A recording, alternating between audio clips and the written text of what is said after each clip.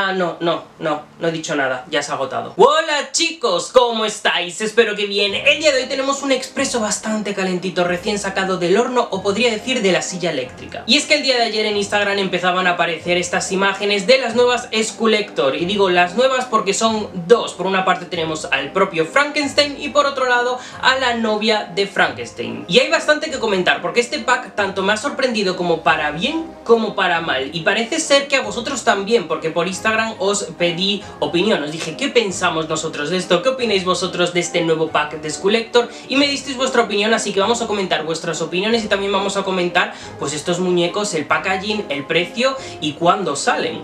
Al contrario que en otras ocasiones me ha parecido idóneo hablar primero del precio y de la fecha de salida para después cuando comentemos los muñecos que tengamos eso en cuenta, ¿vale? Por un lado, la fecha de salida, ¿cuándo podemos comprar estos muñecos? Pues van a salir el 14 de octubre dentro de nada, en un par de días, cosa que me sorprende, quiero decir, yo sé que está jugando Mattel con esta expectación y lo que sea, pero acabamos de tener ahora mismo las Honko Tour de Clio y de Laguna y están empezando a salir las Monster High de la generación 3, me parece algo precipitado el decir, oye, que en cuatro días te vas a tener que gastar X dinero para comprar estos Skulllector, en cuatro días te vas a tener que pelear con otras personas para conseguir estos Skulllector que se agotan así porque hacemos muy poquitos.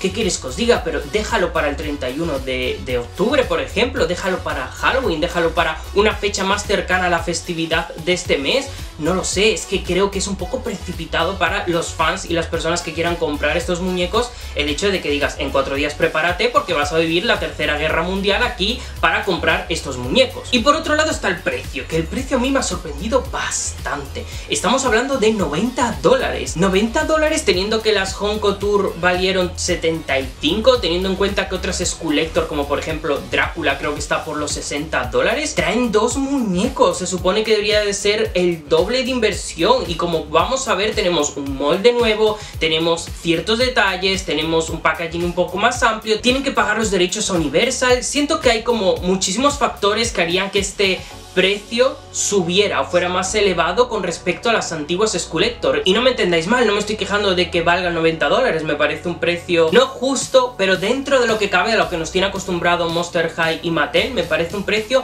más razonable que otros Skulllector que, pues viendo este precio y comparando a estos muñecos, creo que podrían valer perfectamente 40 dólares. Para empezar tenemos el packaging. El packaging a mí me hace bastante gracia que ellos lo venden como un packaging épico, ¿no? A la altura de los muñecos, un packaging de coleccionista. Es una fucking caja de cartón. Y no digo que sea feo, el packaging me parece bonito, pero por todos he sabido que el packaging no viene libre de problemas. Tenemos que, hay veces que lo que son las puertecitas no se cierran del todo, es un digamos un fastidio de exponer si tienes poco espacio porque no puedes exponer a los muñecos como tal, tienes que abrir ¿no? y dejar las puertas abiertas y te ocupa el doble de espacio y por otro lado no deja de ser un packaging impreso, quiero decir, no está mal porque no está mal, pero cuando te venden un packaging como wow, qué pedazo packaging collector, me esperaría un poquito de 3D, de profundidad en lo que es la caja. Quizás la cama eléctrica donde está Frankenstein podía estar un poquito en relieve, ¿no? Esto que se llama pop-up, poner el cartón pues a diferentes niveles para dar un poquito de profundidad. Quizás podríamos tener ciertas partes de plástico o alguna posa así diferente para los muñecos. No, es un packaging que se puede decir que es bastante plain line, porque sí, a ver, es bastante elegante, pero eso no quiere decir que no tenga menos inversión que otros packagings que hemos visto en muñecas que valen a lo mejor 25 dólares. Me recuerda un poco cuando sacaron las extras y dijeron que el packaging era interactivo porque podías girar la caja y había como una estrella que tenía purpurina y la purpurina se movía es un poco ese tipo de engañabobos. Pero bueno, lo que podemos ver en el packaging es el laboratorio, con la mesa típica de Frankenstein, con las chismas estas que hacen electricidad, lo típico, ¿no? Pasamos a los muñecos, tenemos a la novia de Frankenstein y Frankenstein. Frankenstein, como digo, es un molde nuevo, ¿vale? Cosa que se agradece, además, el hecho de que lo hayan hecho un poquito más proporcionado a la novia de Frankenstein para que ella se vea un poquito más chiquitita y él se vea un poquito más grandullón, ¿vale? No es lo grandullón que podría ser un Frankenstein, pero está bien, entiendo los medios que han tenido y entiendo todo el partido que le han sacado, a mí me gusta, me parece guay. Lo que algunos me habéis dicho, y tenéis toda la razón del mundo, es que os gustaría que tuviera pelo cosido y no pelo esculpido. Y estoy de acuerdo, no entiendo esta decisión que se tiene por parte de muchísimas empresas de que las muñecas sí o sí tengan el pelo cosido, pero tengamos un pase en que los muñecos tengan el pelo, eh, digamos, eh, esculpido. Mm, ¿Qué queréis que os diga? Yo sé que es pelo corto y cuesta más en plan el moldearlo y el ponerle producto, pero vivimos en una era donde el producto para el pelo se lo ponen a muñecas que incluso tienen el pelo lacio y que no lo necesitan, así que no entiendo por qué no tenemos un Frankenstein con el pelo cosido y bien peinado. ¿Se podría hacer? Por supuesto que se podría hacer. ¿Han querido hacerlo? Por supuesto que no. El rostro me parece guay, creo que este muñeco se hubiera beneficiado de un poquito más de sombra, sobre todo alrededor de lo que es el rostro, un poquito para marcarlo porque queda muy plano, ¿no? Es como que le han puesto estas sombras alrededor de los ojos, que está bien, creo que podían ser menos verdes, menos saturadas, podían ser un poquito más apagadas para dar como ese toque más tétrico, e incluso a mitad de camino entre el color y el blanco y negro, que es como la peli original de Frankenstein, ¿no? Creo que hubiera dado como un toque más dramático, un poco más dark, como podía ser Monster High, como se supone que son estas Skulllector, ¿no? Pero de cara está bien y me gusta que su sonrisa sea como de lado, queda bastante adorable, así como coqueta, me gusta.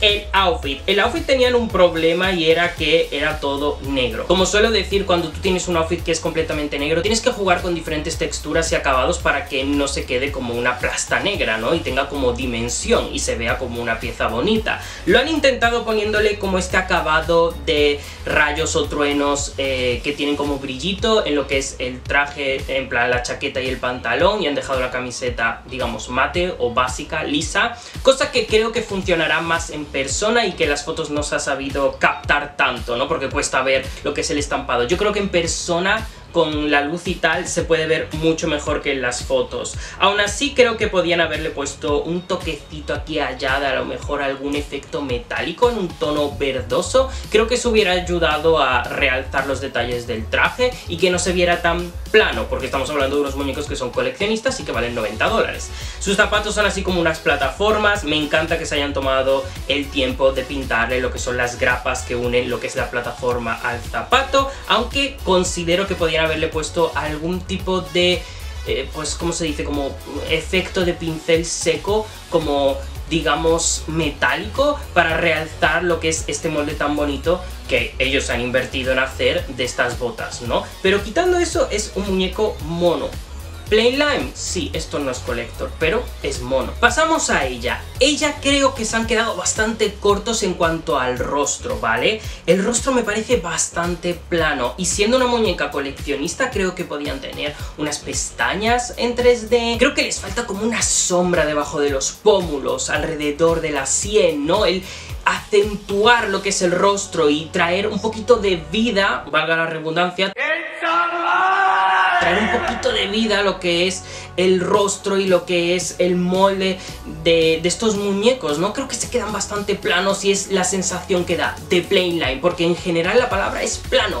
Les falta como subir un nivel y añadir e invertir en ciertos detalles y en ciertos toquecitos que son muy tontos, pero que hacen que la muñeca pase de parecer una muñeca barata a parecer una muñeca de lujo, una muñeca collector, una muñeca que tú quieres comprar y que no te importaría gastar 90 dólares en ellas porque ves la justificación del precio. El pelo es una pasada, ¿vale? El pelo lo han bordado, a mí me parece fantástico, me parece genial, no tengo nada más que decir, me parece un pelo muy, muy, muy chulo. El outfit pasa lo mismo que con Frankenstein, es todo blanco, lo que quiere decir que tienes que jugar con texturas, con acabados, con brillo y mate para realzar distintos detalles. En el caso de ella, con que han jugado, con que, bueno, la, tela tiene bastante textura, ¿vale? No es una tela impresa, cosa que se agradece y más a ese precio pero han jugado con una especie de chaquetilla o capa que tiene así como muchos flequitos de digamos una gasilla blanca y después tiene como las mangas abullonadas con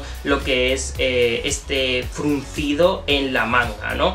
Creo que está bien, pero nuevamente se queda bastante básico, que es algo que muchísimos de vosotros me dijisteis, que se sienten básicas, se sienten playline y puedo entender perfectamente por qué, porque yo coincido con esa opinión, ¿no? Y después quieren centrar muchísimo la atención en los zapatos de ellas porque están como muy orgullosos de esos zapatos. Son unos zapatos que parecen hechos como con vendas y después en la plataforma es como de un azul transparente, translúcido y dentro tenemos como una bailarina, ¿vale? Que creo que hace referencia a una escena mítica del laboratorio de Frankenstein, de la película. Dicho esto, yo no entiendo este azul en los zapatos. Puede que la película fuera azul, no creo, porque estaba en blanco y negro, según yo. Entonces, ¿por qué este azul translúcido no es un verde translúcido? Hubiera quedado mucho mejor en la paleta cromática, hubiera quedado muy Frankenstein, hubiera sido como muy bonito porque conjunta con él. En cambio, eh, no conjunta para nada, no hay nada azul en lo que es la paleta cromática de ninguno de los muñecos, en el fondo, en la caja, no hay nada azul por ningún lado, entonces de repente te ves todo